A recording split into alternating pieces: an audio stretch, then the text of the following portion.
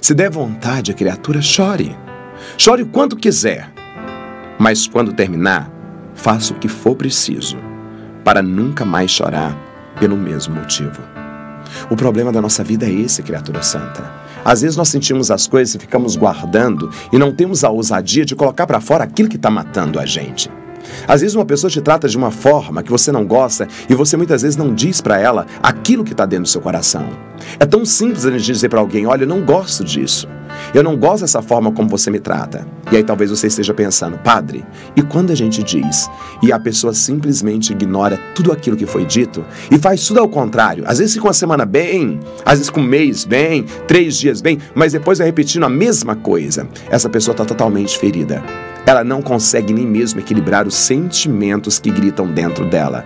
Aquilo que ela comunica é aquilo que está gritando dentro do coração. Por isso ela te fere, por isso ela te machuca, por isso ela te decepciona. Quanto mais nós insistimos naquilo que o outro muitas vezes não sabe comunicar, é o momento de ajudá-lo a interpretar o porquê que ele machuca tanto e te impede. Por isso que eu disse hoje: chore, chore tudo aquilo que você tiver vontade, mas depois de chorar, enxuga as lágrimas, levanta a sua cabeça e prometa a si mesmo que você não vai mais chorar por esse motivo. Você não precisa ficar chorando eternamente pelo resto da sua vida porque alguém te abandonou. Você não precisa ficar chorando eternamente porque alguém não quis ser seu amigo. Você não tem que ficar chorando eternamente porque o outro não valorizou a sua presença, não valorizou aquilo que você era. Chora naquele momento, ou chora dentro do seu quarto, ou chora diante de quem você quiser. Mas levante-se, levante-se e tenha a ousadia de comunicar o amor que grita dentro de você. Quando eu sei aquilo que eu estou sentindo, eu não permito mais com que o outro brinque com a minha história. E nem brinque com os meus sentimentos, não brinque com as minhas vontades. Ninguém tem o direito de chegar e entrar na hora que quer, no momento que quer e sair na hora que bem entender. Tem gente que chega, faz a bagunça, vai embora e depois quer voltar como se nada tivesse acontecido.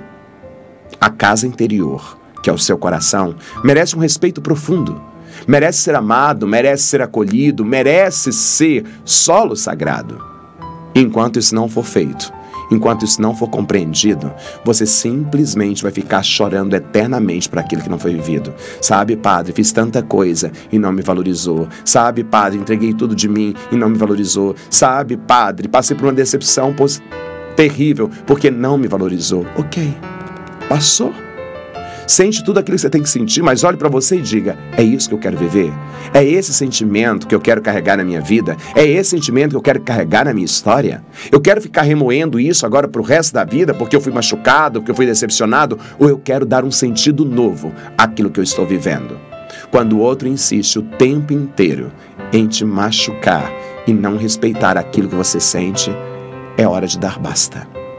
É hora de dizer chega porque você não merece ser tratado. Você não merece ser desrespeitado. Você não merece ser tratado por menos aquilo que você é. E enquanto você não entender isso, você vai ficar chorando pelos cantos, vai ficar tentando uma coisa que nem tem que tentar. A gente só tenta quando o outro faz um propósito contínuo de querer caminhar conosco. E se for para ser feliz, com ou sem mim, que seja. Mas deixe o outro em paz para poder fazer a sua caminhada. Quantas vezes você já chorou escondido? Quantas vezes você já chorou sem ninguém ver? Quantas vezes as lágrimas já escorreram porque você disse: não é possível que está acontecendo de novo.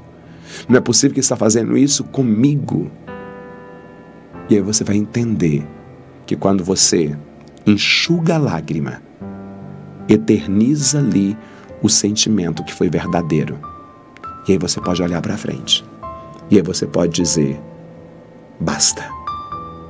Até aqui já foi.